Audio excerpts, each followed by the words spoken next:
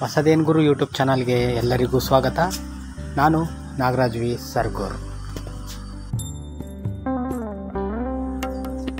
ಇದು ಶ್ರೀ ಬೇಲದಕುಪ್ಪೆ ಶ್ರೀ ಮಾದೇಶ್ವರ ಸ್ವಾಮಿ ಜಾತ್ರಾ ಮಹೋತ್ಸವ.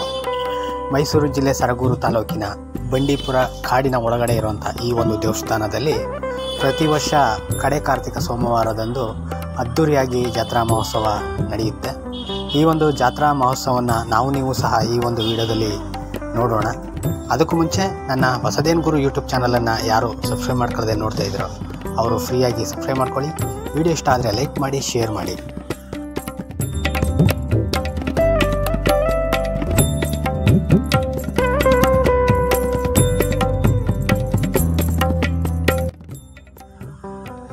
ಅಬ್ಬಬ್ಬಬ್ಬಬ್ಬ.